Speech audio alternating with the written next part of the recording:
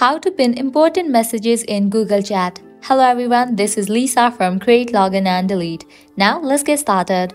Launch your Google Chat app. Here we go. Make sure you have already logged in through your account.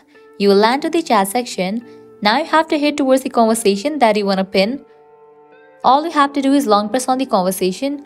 With that, different options will appear. Head towards the option of pin, click on it. Make sure you are using the latest version of Google Chat app with that, the conversation will be pinned. Now it's gonna appear at the very top. Likewise, at the right corner of the conversation, you will find this pin icon.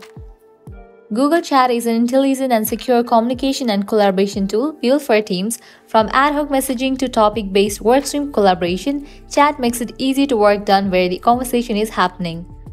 This pin feature helps users keep track of important messages or conversations within the chat interface. Applying the same process, you can pin other conversations as well. All you need to do is long press on it and then click on the option of pin. With that, you will be able to find the conversation at the top section and also you will find the pin icon at the right corner of it. So that's all for this video. This is how you can easily pin important messages on Google Chat.